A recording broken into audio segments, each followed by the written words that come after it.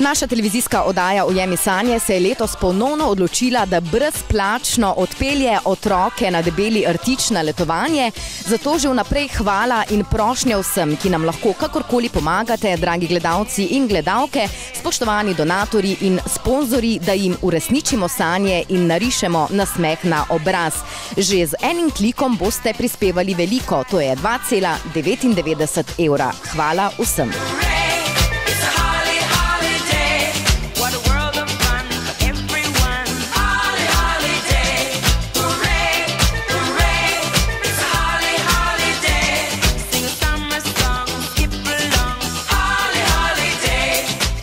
Veselimo se ponovnega sodelovanja z vami. Mladinsko zdravilišče in letovišče Rdečega križa Slovenije že 60 let skrbi za zdravje in dobro počutje otrok.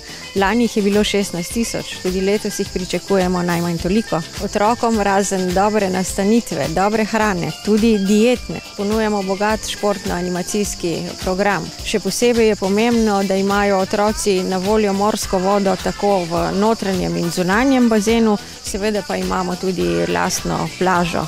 In otroci pri nas naj res uživajo počitnice.